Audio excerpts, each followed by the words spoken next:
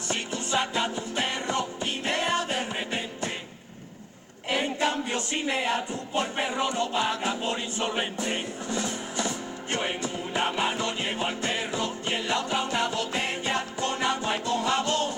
El móvil por si me llama y una bolsita para echar. Cuando el perro expulsa los excrementos, el móvil a mí me suena y todo eso al mismo tiempo. Voy abriendo el plastiquito. Y mientras me suena el móvil con la botella echando el chorrito, pongo al perro chorreando, el móvil que no me deja, meto al perro en la bolsa y el móvil va para la papelera. Y ya me quedo tranquilo y me voy hablando con el